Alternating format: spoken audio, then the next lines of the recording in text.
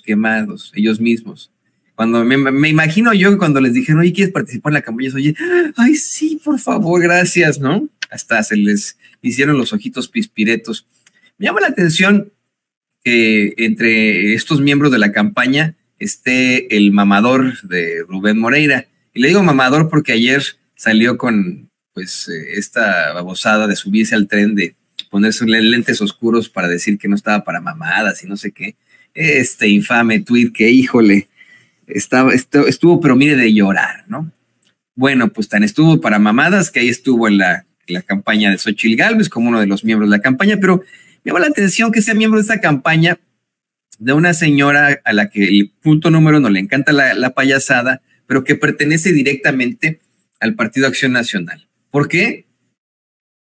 Es más, eh, creo que vale la pena que lo hagamos en otro, en otro clip. Sí, sí, vamos a hacerlo en otro clip. Grábenos, compañeros, grábenos, ándele, vamos a hacerlo en otro clip. Vamos a hacerlo en otro clip.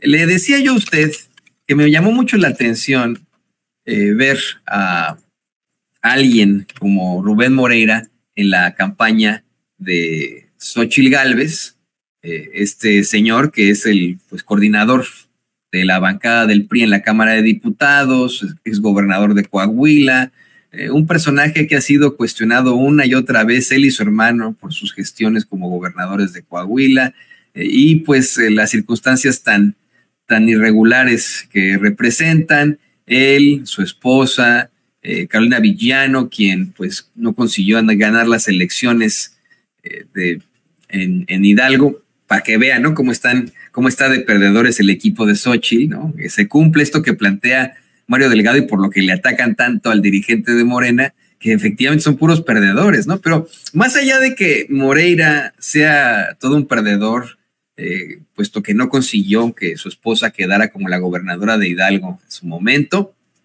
eh, eh, más allá de que sea un mamador que en redes sociales publique estas infamias. No me pongan la infamia esta de que hay días que uno no anda para mamadas, este es uno de ellos, ¿no? Subiéndose al tren de una especie de meme que traían todos allá en redes sociales.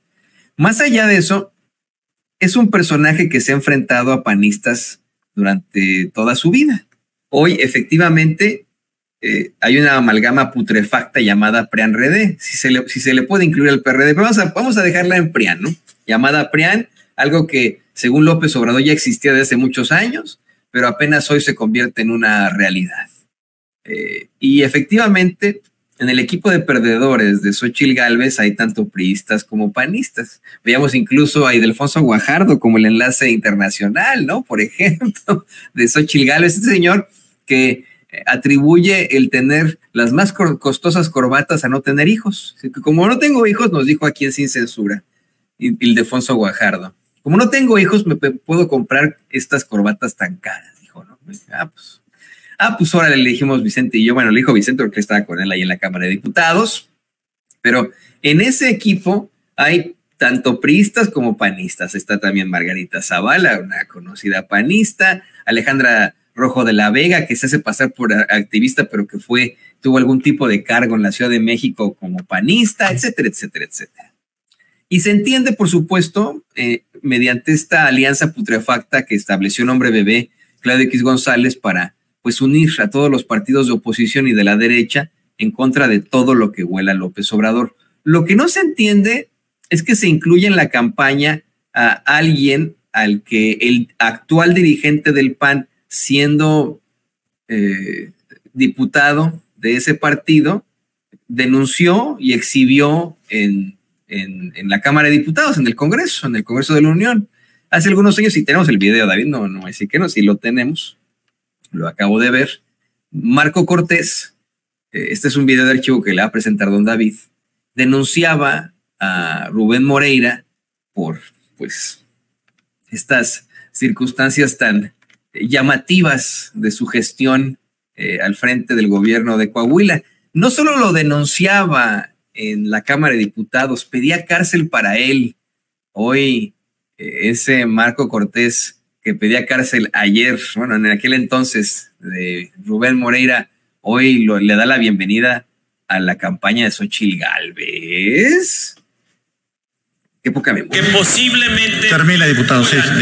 A Humberto Moreira, Rubén Moreira, en el fraude que se le hizo a los coahuilenses para Acción Nacional, pero para el pueblo de México es de interés nacional. Por ello, acuerdo de urgente y obvia resolución referente a los Moreira lo hemos solicitado que usted lo ponga a consideración del Pleno la incorporación para la discusión de esta sesión. Para que la Asamblea tenga más elementos para esta determinación, yo le voy a decir brevemente los puntos de lo que se trata que se tomen las medidas, presidente, para que Humberto Moreira no salga del país. Dos, que se aseguren las cuentas bancarias en cuestión para que ese dinero, que seguramente es público, no se distraiga. Que se nombre un fiscal autónomo para que se investigue el posible desfalco. Que se cancele la candidatura del, del candidato a diputado local plurinominal Humberto Moreira que se le pida a la unidad de inteligencia financiera una acción de extinción de dominio sobre todos sus bienes y que debido a la falta, y concluyo que debido a la falta de investigación que hay en nuestro país que se le pida información a los Estados Unidos y a la Interpol respecto de todas las investigaciones que parece que allá sí se realizan en contra de Humberto Moreira por el fraude. Ese es el contenido de urgente y obvia resolución que estamos pidiendo que hoy se discuta. Por lo no, a la Interpol a la Liga de la Justicia y no sé qué, no, y a la Liga Marvel. Y, y todos estos panistas hablan así siempre. Fíjese cómo tenemos un Mario, Marco Cortés con el mismo tonito haciendo ahora las denuncias, pero en contra de todo lo que tenga que ver con López Obrador. No estoy defendiendo a los mamadas. Ah, así lo bautiza mi querido Beto González. Eh, y así le vamos a poner a Humberto, a, Humberto, a Rubén Moreira.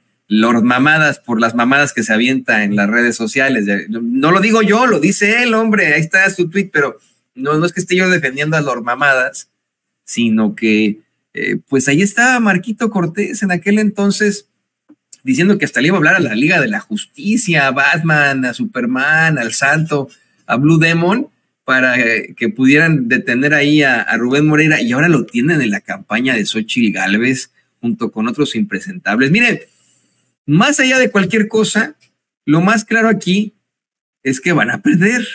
Es que el vamos, por menos silogismo, ¿no? Eh, si pones perdedores en tu equipo, vas a lo más seguro es que vayas a perder, ¿no? no sé, no sé si, si usted me entienda con esto, ¿no? Creo que por ahí va, por ahí va el silogismo. Tanto que, insisto, se han dado cuenta de esto muchos miembros de la derecha que ya están hasta acá, de las caídas de Xochitl Galvez. Y con esto le pido, por favor, al equipo que nos grabe